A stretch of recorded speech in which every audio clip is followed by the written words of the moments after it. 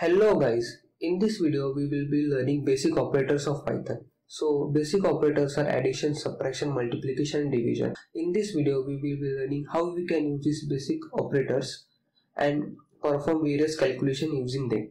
So for that let's open this folder which is chapter 5 and as you can see there are two files. One is description file which is the description and explanation of the video. Another is Python file. So let's open this folder in VS Code using the same commands that we followed in last video. So this is the file as you can see. As I told before, there for beginners we must try only basic four operators which is addition, subtraction, multiplication and division. So let's try them one by one. So I will simply comment this part of code so that it will not get executed. Also if you want to comment or uncomment part of code you can simply write hashtag and just write anything that you want to store. It will not get executed as it will be treated as comments. Comments in coding language are treated as the explanation of code. So in single line comment you can just type hashtag. And if you want to give multi-line comment you can simply type three this type of marks. So in this way you can just type multiple comments here in multiple codes so in this way you can type a paragraph here which explains the piece of code. So I will just close it now or delete it. And now let's move to the main topic of this video which is basic operators. So first operator is addition. I have already shown how we can add two numbers. So I have simply written here 5 plus 3 and store the answer in result. And let's print the output. So it should be 8 logically and as you can see the answer is 8 in this way the next operation is subtraction operator and I have this time is 7 minus 2 so the answer should be 5 so I will simply uncomment these two parts. So the next is multiplication.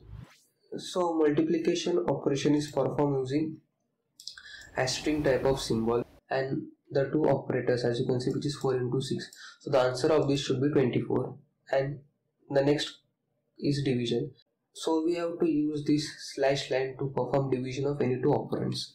So I will save the program and just run it once again. So let's wait. And as you can see the addition is 8 which is correct. Subtraction is 5 which is also correct. Multiplication is 24 and division is 3. So as you can see it has simply converted the answer in float type because sometimes we can get result in point also. So I will simply show that example. Let's add here 19 just close it and run the program once again. And as you can see it has given me the answer which is 6.3333 so this is a floating value. Now let's move to the last part of this video which is concatenating two string variables. So I will simply uncomment this part so basically what I have done here is that I have stored hello in greeting variable and Aditya in name variable. After that I have simply added these two variables as I perform addition operation and stored the answer in third variable which is message. Now if I simply print this output what we will get? The answer should be hello Aditya which is printed in front of you.